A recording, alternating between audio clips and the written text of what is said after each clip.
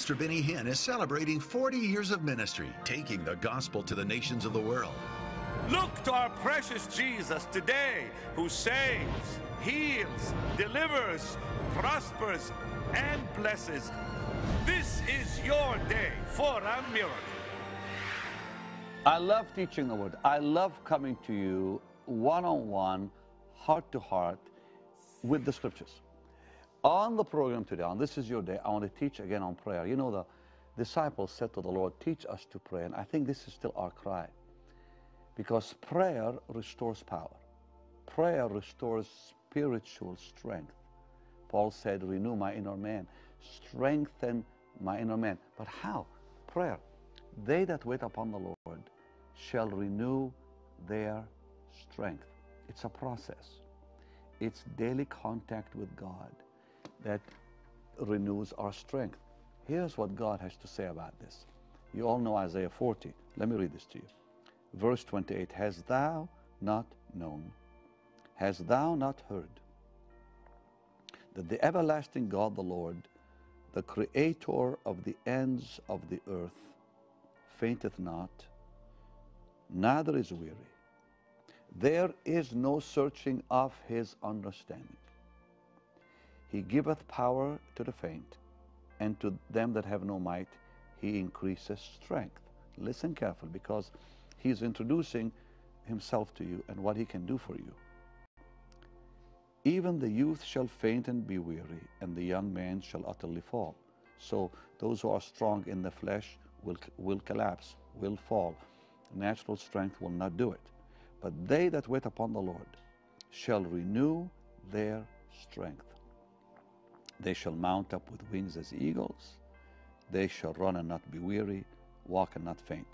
What God is saying is, when you pray, you will, you will reach that same strength that is in Him. Because He says, I don't faint, I don't get weary. And the next thing you read in verse 31 is, They that wait upon the Lord will not faint or be weary. In other words, they will have the strength of God. Where God is, they will be. That's a powerful thing that the Lord is showing us here. And then He says, He gives power to the faint, and to them that have no might, He will increase strength, spiritually and physically. The Lord is talking about both. On the program yesterday, I showed you from Job 21 what, what happens when people do not pray. And it's very frightening. No counsel, no light, uh, you know, no blessings or forgiveness, no preservation, no protection. I showed you all that yesterday. On the program today, I want to deal with the three realms of prayer and how to get in into the presence of the Lord and see victory and, and coming to that place where now you're really participating with the Lord in decision making because Ezekiel says that. Because agreement with God is the highest form of prayer. But we'll, we'll, we'll get there in just a second. Now, here's what I want to point out to you. In, in uh, Isaiah 27, and this is what we all need daily. And remember, daily contact is the key. Jesus said, Give us this day our daily bread. Because when you, when you neglect time with God, that's when your battery begins to go down. Now, think about this you charge your phone battery or other batteries you have. You know, like every day I charge my my my cell phone, put it and I charge it every every single day. It takes about what an hour or so. Think about your spiritual battery. How long it takes for it to charge? I'll, I'll tell you how long. Two weeks. I've seen this from my own experience.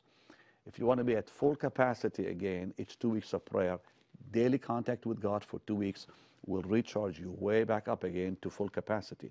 But if you neglect prayer after that, it'll start to go down. So you have to stay daily in contact with God to keep it at full capacity. It's important you understand this principle.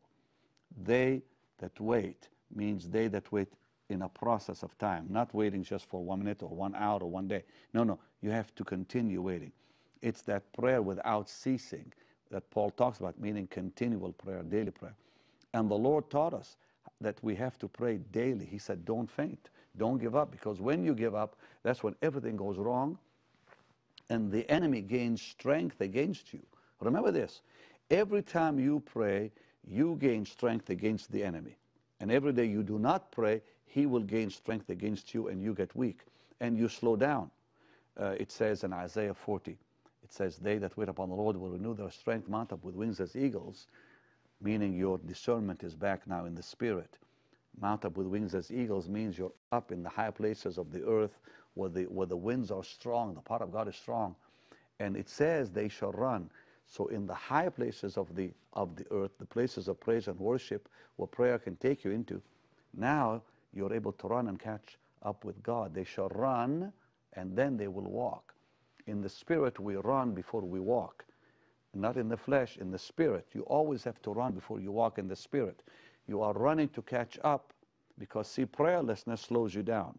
Prayerlessness takes you back. Prayerlessness puts you in the back row where Amalek can get you. Because in the Old Testament, it talks about Amalek killing the Israelites who were in the back. Those who could not follow the cloud were killed by Amalek. Well, you and I have to stay under the cloud by prayer. It's prayer that keeps you under the cloud in the right place with God. That's why it says they'll run, they'll catch up with where God is. And now they'll walk means their fellowship is restored. And fellowship with God is powerful because fellowship with God is that continual prayer. And as you are praying daily, you are exhaling the flesh and inhaling the Holy Spirit. I'll say it again. Every time you pray, you do to the, to the flesh and to the Holy Spirit. So you're exhaling the flesh, inhaling the Holy Ghost every time you pray. It takes two weeks of that before your battery is fully charged to 100%. Now, when you are in that place of prayer and when everything is right, here's what it says in Isaiah uh, 27 5. And I love this verse. Let him take hold of my strength, that he may make peace with me, and he shall make peace with me. I love this. Therefore, only prayer will bring you to a place where you have peace with God. Remember what the psalmist said in, in, in, in Psalm 3? Because, see, this is the key to victory against the enemy. Don't forget what I'm telling you now. If you want to see victory over Satan, it comes only through prayer. It says this it says that there was trouble. How are they increased that trouble me? This is verse 1, Psalm 3. How are they increased that trouble me? Many are they that rise up against me. Do you, do you feel like that? There's, you, you, you, you have enemies you did not know about and troubles you did not plan for. Okay, it comes to all of us. How are they increased that trouble me? Many are they that rise up against me. Many there be which say of my soul, There's no help for him in God. But thou, O Lord, art a shield for me, my glory, and the lifter of my head. Here's the key I cried unto the Lord with my voice, that's prayer. He heard me out of his holy hill. The next thing you read is how calm he became. David now suddenly is at peace. He said, I cried unto the Lord, he heard me, and then I laid me down and I slept. I waked, for the Lord sustained me. And I love verse 6 I will not be afraid of ten thousands of people that have set themselves against me round about. In verse 1, he was, he was afraid. In verse 6, he's fine. He's perfectly whole, well, and peaceful. Why? Because he has called upon the Lord. And when you call upon the Lord, your enemies will run away. Psalm 56, I love this verse. Verse 9 When I cried unto thee, then my enemies turned back. This I know God is for me. So if you want to see the enemy run away from you, prayer is the key. Prayer and only prayer will do it. Psalm 56, verse 9 When I cry unto thee, then shall my enemies turn back. Okay, now, the three realms of prayer. We, we, we begin, and let's, by, by, by the way, go to Matthew, because I want to show you this. This is really powerful. Uh, the Lord said that we are to begin by asking. This is the, the, the asking round, the asking world. This is where we know what we need, you know, salvation for our loved ones, help and healing, and, and so on. So we're reading now Matthew 7, verse 7 Ask, it shall be given you, seek, you will find, knock, it shall be open. These are the, the, the three realms of prayer. we begin with the asking world. This is where we enter in, like in the, in the Old Covenant. Moses built the tabernacle that had three uh, sections to it. It had the outer court, holy place, holy of holies. In the outer court was the altar of sacrifice and the laver. This is the, the place where we make our requests that we know about. We make our requests to the Lord and, and come and say, Father, here's my prayer list. And we make our requests. But also, that is the place where the enemy can attack us and harass us, and our minds wander, and we get tired and want to, you know, say amen and leave. But no, no, you've got to stay because when you stay, you will come into a breakthrough. And when you break through into the holy place of prayer, this is the second round that is called the seeking round. Jesus said, Seek. Now, we ask for answers, but we seek the Lord. We're not seeking for answers now, we're seeking Jesus. Ask, so we're asking for the things we need. Let your requests be made known, the Bible says. But now we seek. The seeking world is we're seeking Him, we're seeking the Lord. We're not seeking miracles, we're not seeking answers, we are seeking the person of Christ Jesus. We're seeking Him. And you can tell the difference because suddenly your words become few. Like Job 5 says, it says, Let your words be few. Your words become few, and now suddenly everything you say, you mean it. It's not repetitious, it's now right to the point, and you mean everything you say. And tears enter into that realm. Suddenly you're crying, you're worshiping, you're praising, you, you, are not even able to, to, to stop from praying in the Spirit. You're not able to stop from praising Jesus and loving Him and telling Him how precious He is to you. That's the seeking realm. But the seeking realm is not even all of it because now you have to walk into the, the knocking realm. We, we're knocking, but what are we knocking on? We're knocking on a door. Who is the door? Aha, it's the Lord. It's the Lord. So when Jesus said knock, he was saying knock on my heart. He was saying, you know, he wasn't saying knock on some door of, of some room. He is the door. He said, I am the door. Now, when you knock, you're into, you're, you're in the spirit. You're in the realm of the spirit. Now you're walking in the spirit and something happens. The minute you begin to walk in the spirit, the flesh is dead. It says, walk in the spirit and you'll not fulfill the lust of the flesh instantly as you're in that third round.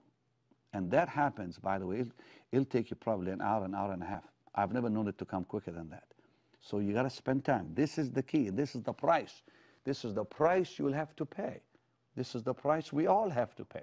Nobody can walk into the, the presence of, of, of the Lord in five minutes. That's impossible. Because there is, there is, a, there is a, a plan, there's a roadmap, as I call it, because God will not allow you to walk into his presence with, without passing first the altar of sacrifice. That's where the blood is applied, where you have to pass the laver, where the word of God begins to affect you. And all that happens in the outer court, all that happens in the asking realm. That's why it's, it's, it's not right to just make requests without the promises of God uh, there with you because you have to pray the scripture. You have to, you have to pray the promises. When I pray, I'm not saying, Lord, save my family, help me, bless me. I'm saying, Lord, you said. Lord, you said in your word.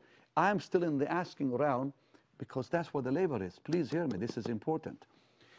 You cannot pray unless you come to the altar of sacrifice and apply the blood. It's impossible to walk into God's presence without the blood. That's the first thing you do. Then you come to the laver where the word of God begins to wash you. And in prayer, you say, the Lord, to, to the Lord, you say, now, Lord, your word says, your word says, but you're still in the, in the asking realm. Now you go into the seeking realm. What's in the seeking realm? In the seeking realm is the lampstand to your, to your left and the showbread to your right and the incense in front of you. Therefore, there's where you seek in the light of God. You're, you're seeking him as the only bread for your life. And now you enter into praise and worship you're seeking into that seeking blessed world, you're seeking Jesus. And the minute you do, you'll break through into the Spirit. And when you are into the Holy of Holies, silence prevails now. Be still and know I am God. Psalm 46. You enter into that place where now God is talking to you rather than you talking to Him. And this is where your strength is now restored with power and beauty and suddenly everything is right. And in that place, something begins to happen. In Ezekiel, this is really, really powerful. Ezekiel 22. Now, this is where, and I must say, not many Christians get, get, get in there because so many of us say amen way, way before God is ready for us. We say amen and leave. Some say amen and leave in the outer court. Some say amen and leave in the holy place. Okay, at least they accomplished something because now they're seeking Jesus. But God wants you to come into partnership with Him to affect the nations and your family and the world. Think, when you come into oneness with God in that Holy of Holies, when you come into that place of partnership, here's what happens. In Ezekiel 22, this is fantastic, verse 30 31, it says, I sought for a man among them that should make up the hedge and stand in the gap before me for the land that I should not destroy it. You become an intercessor.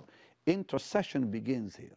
It is God the Holy Ghost who takes your vessel and you become literally a vessel of intercession and prayer.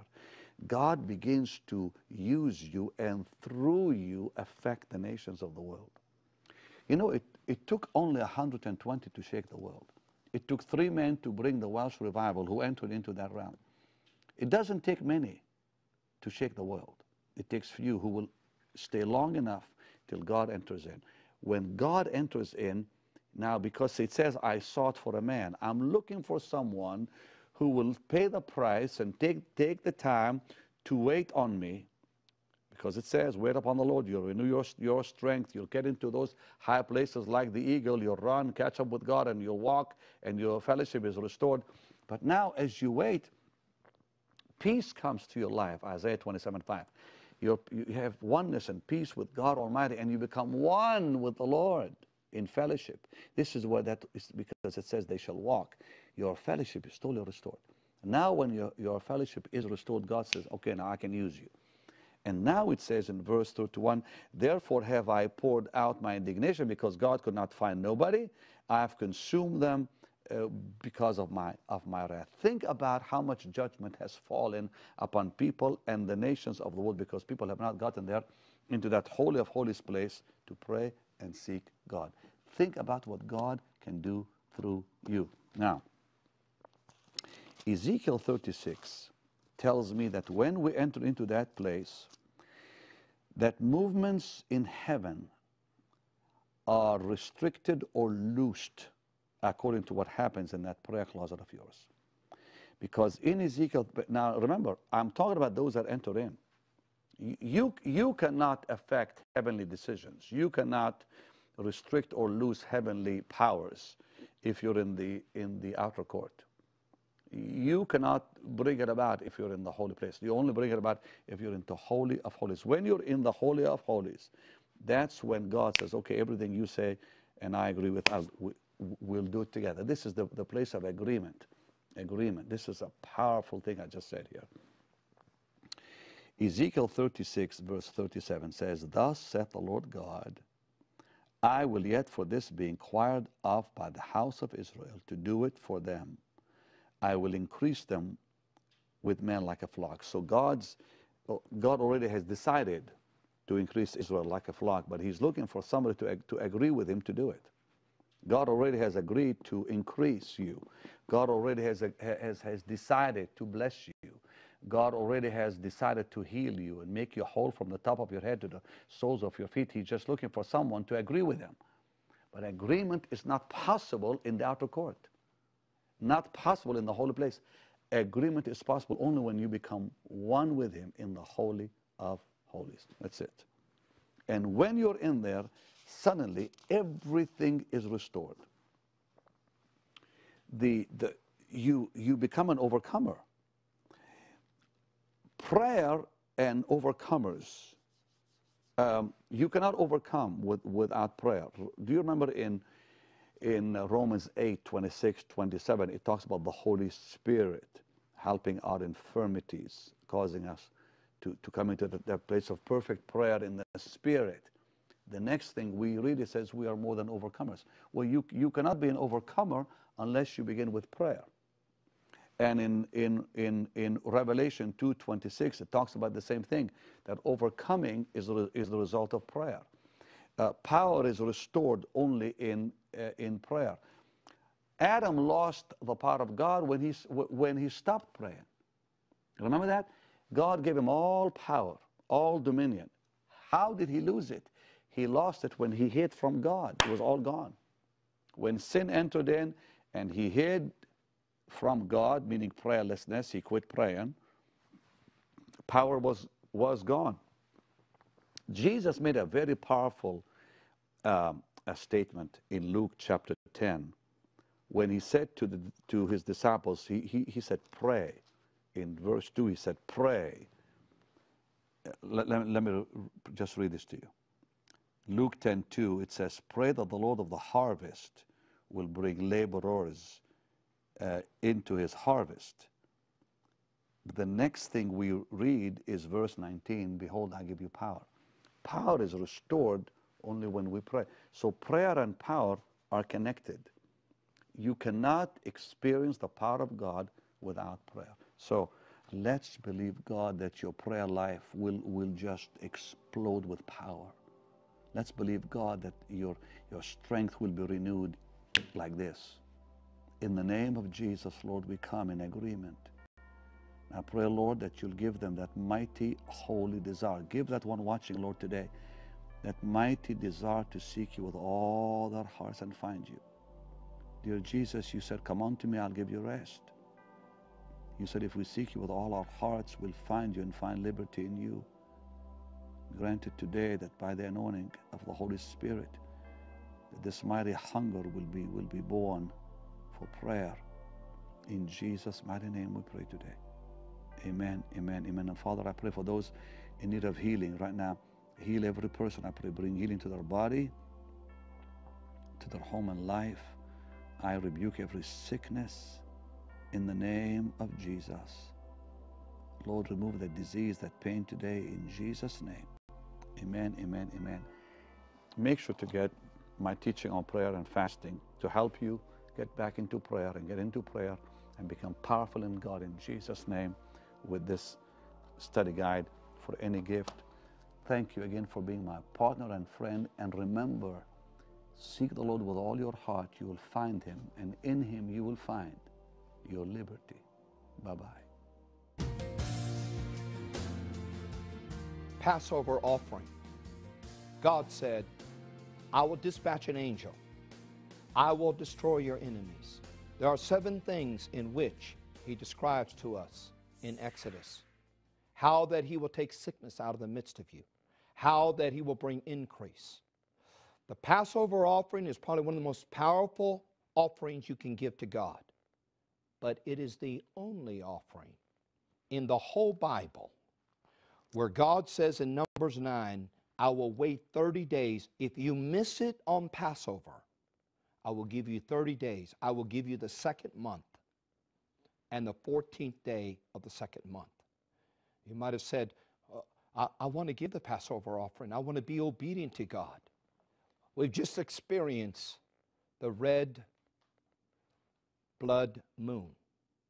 Right now, we are connected in a time zone of a historic event. And it's not too late to stand before the Lord. God is so, so interested in blessing you that He says, if you'll stand before me, that angel will take you, will take you to the next blood moon. The next six months, the moderate rains of blessings that will be upon you. And you said, I, I don't want to miss it. And many, many people did it. And you should hear the testimonies. You should hear the testimonies of what is going on around the earth right now in the last 24 hours, the last 40 hours. And God said, and it's the only offering of all the offerings when it comes to seasonal offerings that God says, I'll give you another 30 days in Numbers 9 and the 11th verse.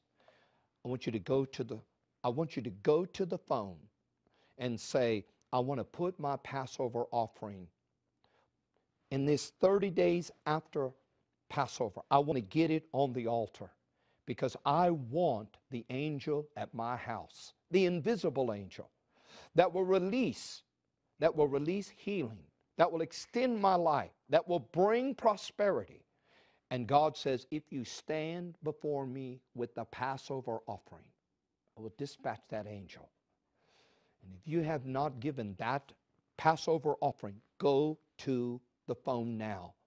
The urgency of obedience is upon me to promote and to and to inspire and to pray and to anoint you to say, God, here is my Passover offering. To somebody watching me is going to give $3,000. Another one going to give $300. Someone's going to give 150 in each hand. Or somebody's going to give uh, 60 uh, in one hand, 60 in another. You're just going to stand before the Lord. Go to the phone. Go to the computer. I am telling you that I sense that God is is going to do a turnaround in your life. I'm picking up my phone. Will you pick up your phone?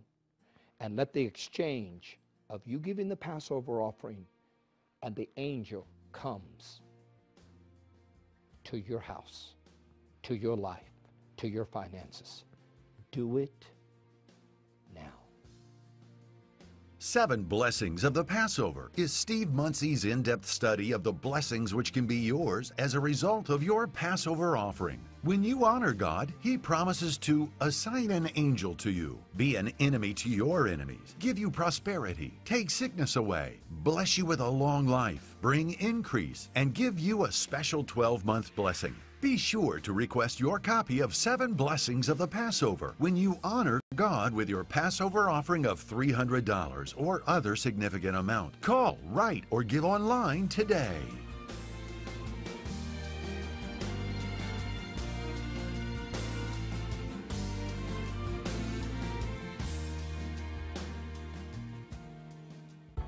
Pastor Benny Hinn invites you to join over 2 million Facebook users around the world who like Benny Hinn Ministries. Go to the ministry website and click the Facebook link. And while you're there, be sure to start following him on Twitter. He personally tweets regular ministry updates and inspiring messages. So connect with Pastor Benny today.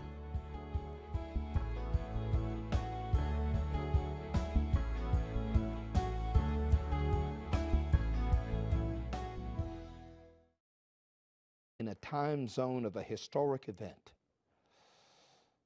And it's not too late to stand before the Lord. God is so, so interested in blessing you that He says, if you'll stand before me, that angel will take you, will take you to the next blood moon.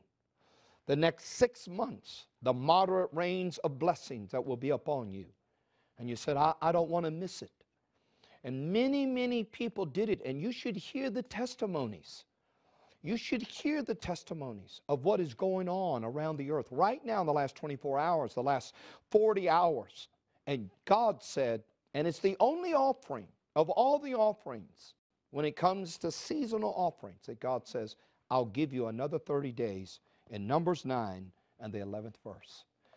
I want you to go to the I want you to go to the phone and say, I want to put my Passover offering in this 30 days after Passover, I want to get it on the altar because I want the angel at my house, the invisible angel that will release, that will release healing, that will extend my life, that will bring prosperity. And God says, if you stand before me with the Passover offering, I will dispatch that angel. And if you have not given that Passover offering, go to the phone now. Think that overcoming is, is the result of prayer. Uh, power is restored only in, uh, in prayer. Adam lost the power of God when he, when he stopped praying. Remember that?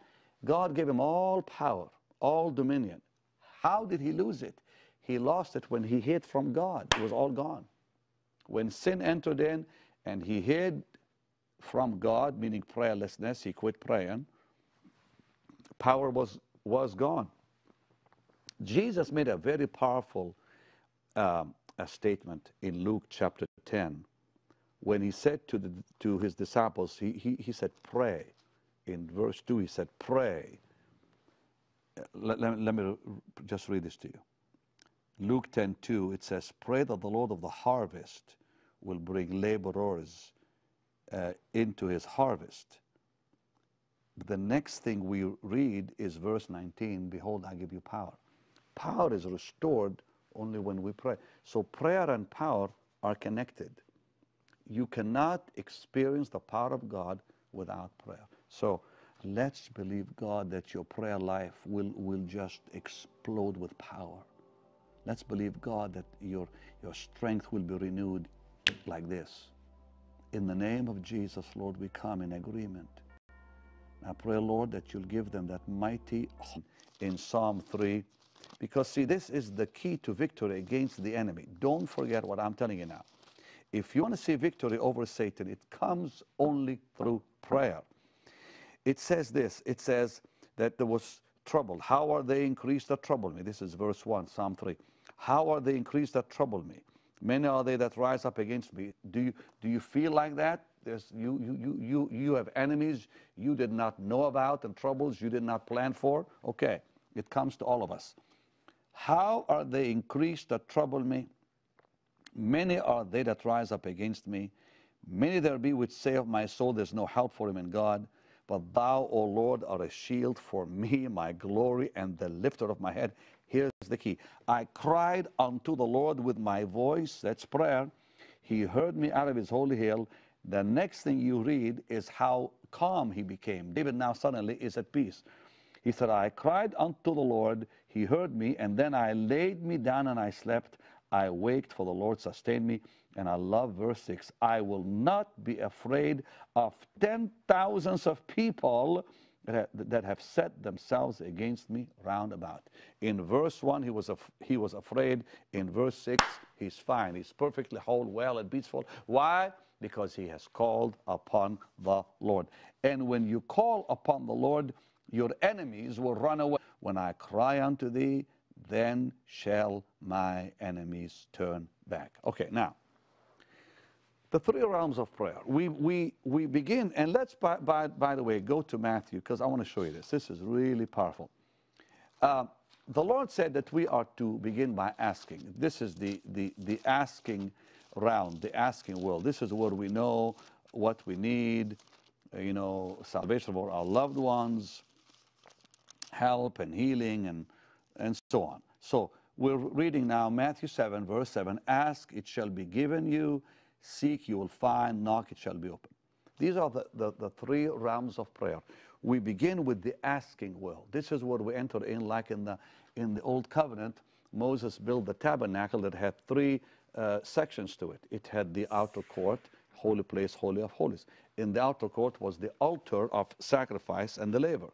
This is the, the place where we make our requests that we know about we make our requests to the Lord and, and, come and say, Father, here's my prayer list. And we make our requests. But also, that is the place where the enemy can attack us and harass us, and our minds wander, and we get tired and want to, you know, say amen and leave.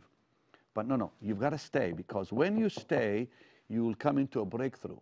And when you break through into the holy place of prayer, this is the second round that is called the seeking round. Jesus says someone to agree with him. But agreement is not possible in the outer court, not possible in the holy place. Agreement is possible only when you become one with Him in the Holy of Holies. That's it. And when you're in there, suddenly everything is restored. The, the, you, you become an overcomer.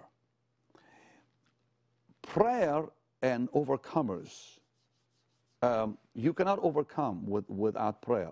Do you remember in, in Romans 8, 26, 27, it talks about the Holy Spirit helping our infirmities, causing us to, to come into the, place of perfect prayer in the Spirit. The next thing we read, it says we are more than overcomers. Well, you, you cannot be an overcomer unless you begin with prayer.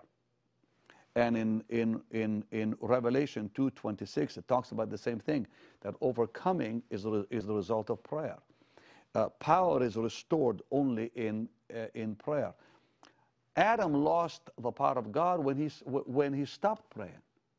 Remember that? God gave him all power, all dominion. How did he lose it? He lost it when he hid from God. It was all gone. When sin entered in and he hid from God, meaning prayerlessness, he quit praying, power was, was gone. Jesus made a very powerful ask, it shall be given you, seek, you will find, knock, it shall be open. These are the, the, the three realms of prayer. We begin with the asking world. This is where we enter in, like in the, in the Old Covenant, Moses built the tabernacle that had three uh, sections to it. It had the outer court, holy place, holy of holies. In the outer court was the altar of sacrifice and the laver. This is the, the place where we make our requests that we know about. We make our requests to the Lord and, and come and say, Father, here's my prayer list. And we make our requests. But also, that is the place where the enemy can attack us and harass us, and our minds wander, and we get tired and want to, you know, say amen and leave. But no, no, you've got to stay because when you stay, you will come into a breakthrough. And when you break through into the holy place of prayer, this is the second round that is called the seeking round. Jesus said, Seek. Now, we ask for answers, but we seek the Lord. We're not seeking for answers now, we're seeking Jesus. Ask, so we're asking for the things we need.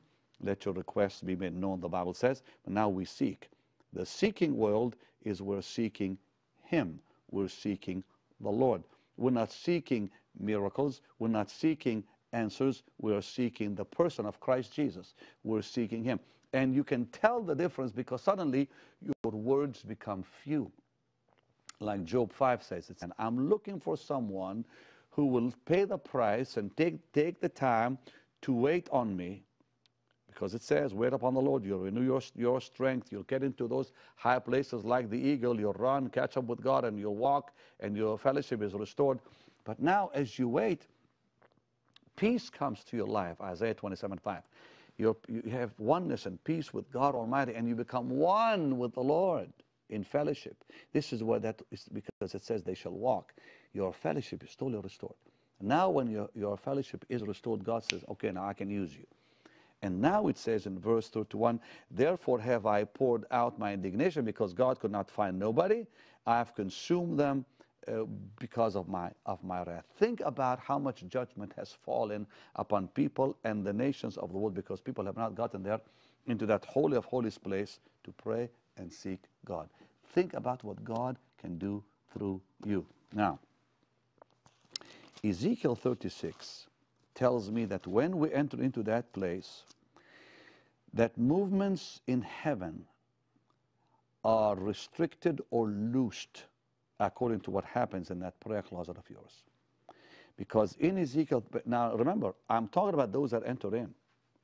You, you cannot affect heavenly decisions. You cannot restrict or lose heavenly powers if you're in the in someone's going to give 150 in each hand or somebody's going to give uh, 60 uh, in one hand 60 in another you're just going to stand before the lord go to the phone go to the computer I am telling you that I sense that God is, is going to do a turnaround in your life. I'm picking up my phone. Will you pick up your phone? And let the exchange of you giving the Passover offering and the angel comes to your house, to your life, to your finances. Do it Seven Blessings of the Passover is Steve Munsey's in depth study of the blessings which can be yours as a result of your Passover offering. When you honor God, He promises to assign an angel to you, be an enemy to your enemies, give you prosperity, take sickness away, bless you with a long life, bring increase, and give you a special 12 month blessing. Be sure to request your copy of Seven Blessings of the Passover when you honor God with your Passover offering of $300 or other significant amount. Call, write, or give online today.